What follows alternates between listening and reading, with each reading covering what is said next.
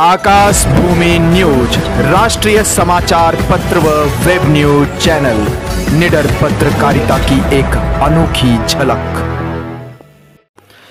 लापरवाही में दो ग्राम विकास अधिकारी निलंबित प्रशासन की बड़ी कार्रवाई विभागीय कार्यों में लापरवाही बरतने पर ज़िले के दो अलग अलग ब्लॉक के ग्राम विकास अधिकारियों को शनिवार को निलंबित कर दिया गया। प्रभारी डीडीओ मनोज कुमार राय ने उक्त कार्रवाई की। दोनों को विकास भवन से संबद्ध किया गया। दरअसल, औराई ब्लॉक के हमीदपट्टी गाँव में दो माह पूर्व अस्थायी गौशाला में कुछ गौवंश की मौत हो गई थी।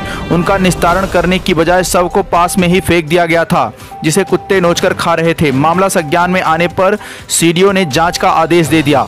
जाँच रिपोर्ट आने पर हमीद पट्टी के तत्कालीन ग्राम विकास अधिकारी रमेश सिंह को शनिवार को निलंबित किया गया।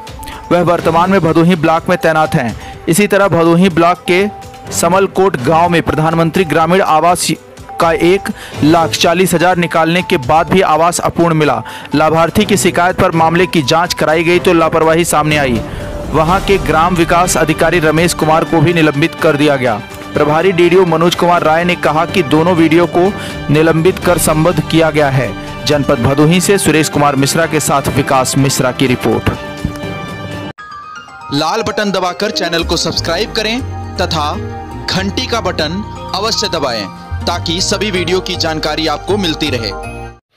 अपने आसपास होने वाली घटनाओं की जानकारी के लिए आप हमें नीचे लिखे नंबरों पर संपर्क कर सकते हैं। आप अपने आसपास होने वाली घटनाओं का वीडियो हमें व्हाट्सएप भी कर सकते हैं।